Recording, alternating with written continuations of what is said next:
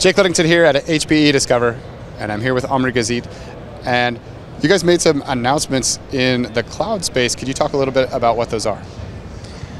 Sure. Um, today we announced four products in cloud, three of them in the Helion family, and one of them an open compute style uh, hardware platform. So the three Helion announcements are Helion Cloud Suite, which is where we take our platforms, OpenStack and Cloud Foundry, and bring them together with the best of our IT operations management portfolio. So things like CSA and OO and Propel and many other tools. And bring those into one package so that our customers have a single integrated way of getting all the cloud benefits, self-service, automation, CI/CD and DevOps, microservices, containers, all in one package. And the second thing we announced was Helion Cloud System 10. This is the 10th version of our integrated hardware software offering, where we take the Helion Cloud Suite and we basically make it work really well on top of our hardware infrastructure provisioning platform, OneView 3.0, that just came out as well. And that runs great on both our rack mounted hardware, so SL and DL lines, our blades, and our brand new Synergy systems. And finally, last but not least, is Helion Stackato 4.0. That ships as part of both Cloud System 10 and it ships as part of the Helion Cloud Suite. And it basically is a huge evolution in the Stackato product line. It brings with it Helion Cloud Foundry, which is a CS, CFF certified version of Cloud Foundry. It brings with it the Helion Code Engine, which is a full CI CD pipeline for automating the build, test, deploy cycle and it brings together a multi-cloud control plane for being able to manage multiple Cloud Foundry clusters, whether they're running on AWS or Azure or VMware or OpenStack, as well as a console that allows an administrator to manage all those applications that are deployed across all those clusters. And so before we get to the, fourth announcement, can you go down into a little more detail about the, the, this new version of Stackato and talk about what, how do you, how do you foresee customers using it? So one of the things we keep hearing from CIOs all the time is we have to go faster, right? We have to be able to be more agile. We have to build more applications and we have to build them on a faster cadence. Why? Because software is going to be our competitive advantage. That is how we compete. And if we don't compete with software, someone else will and we'll be the disrupted. You know, going back to Meg's comment, you're either disrupting or you're being disrupted, right? And so Stackato is that tool that enables enterprises to go faster. It creates a platform as a service environment kind of like Heroku, you know, as, as one of the progenitors of platform as a service, except you can run that PaaS anywhere. You can run it on a public cloud like AWS or Azure. Or you can run it on a private cloud running on top of OpenStack or on top of a more traditional VMware infrastructure. And the cool thing about Stackato is that developers have a complete self-service experience for building and deploying applications, while IT has a great environment that enables them to do security and compliance. I'll give you a small example.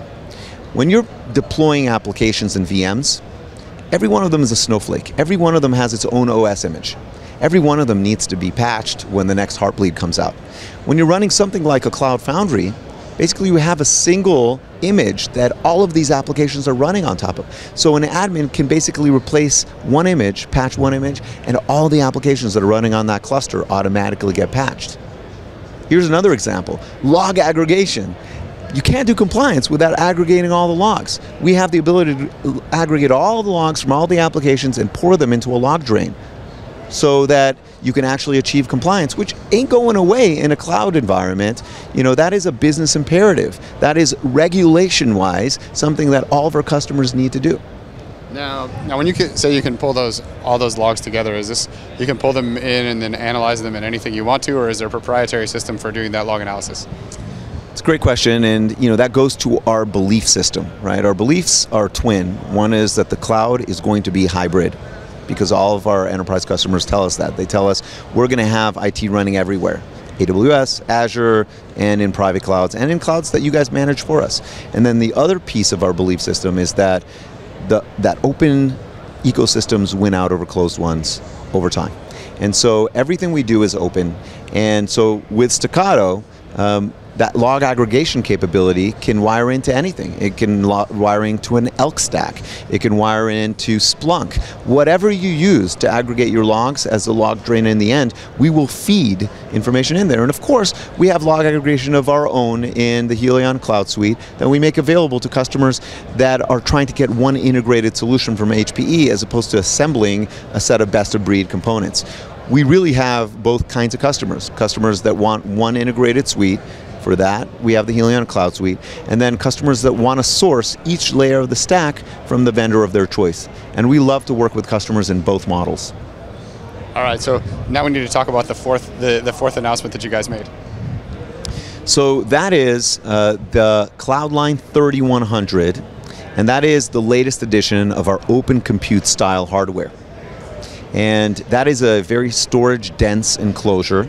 So we can run 24 small form factor drives for very dense storage, great for running analytics workloads like Cassandra or Hadoop, and it's very, very power efficient. So we're very proud of the work that we're doing across all of our hardware form factors, whether that be Synergy, which is our flagship hardware announce at this show, and it's uh, it's it's the composable infrastructure vision, right?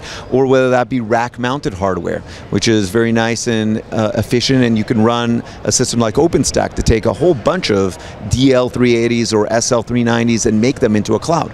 Or whether that be our Blade systems, which are great for a combination of scale-out and scale-up workloads. And finally, our Cloudline, which is an open compute style commodity hardware that you know that, that customers like Dropbox will use uh, to be able to realize super dense storage. Well, excellent. That sounds like you guys have a good path forward. Thank you very much, Jake. Always great to be here with you. Thanks.